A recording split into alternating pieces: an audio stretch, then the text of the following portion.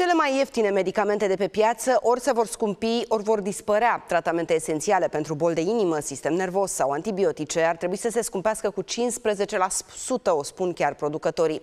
Altfel vor fi obligați să renunțe la ele. Cei care vor trage ponoasele sunt pacienții.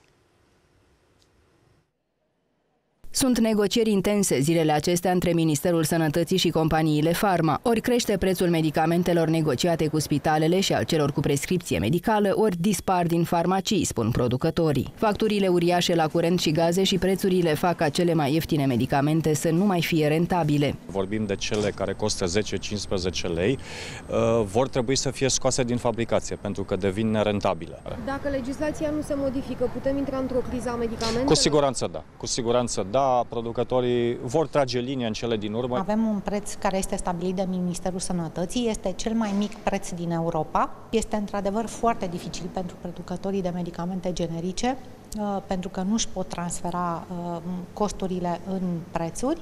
Uh, și uh, riscul este să uh, ajungem să retragem medicamentele foarte ieftine de pe piață. Am fost anunțat de unii producători că anumite medicamente nu vor fi livrate către institut. Un avertisment dur cu care este de acord inclusiv Ministrul Sănătății. Modul în care se construiește prețul trebuie să țină cont de prețul care permite existența pe piață a acelui medicament.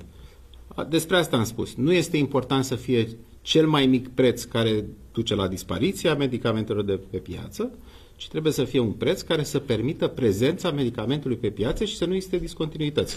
Producătorii ar vrea ca prețul medicamentului să fie calculat în funcție de inflație. Trebuie modificată legislația de preț în sensul în care ar trebui să fie posibilă, cel puțin pentru medicamentele ieftine, medicamentele până în 100 de lei, ca uh, procentul de inflație să fie reflectat în prețul medicamentelor și da, atunci am putea vorbi de o creștere a prețului medicamentelor. Este vorba despre medicamente esențiale pentru bolnavii cu boli cardiovasculare ale sistemului nervos și chiar antibiotice. Un spray inhalator care se folosește în urgență pentru insuficiența respiratorie, erdosteinum, adică o substanță cu rol expectorant care um, se folosește la pacientul cu boală pulmonară cronică.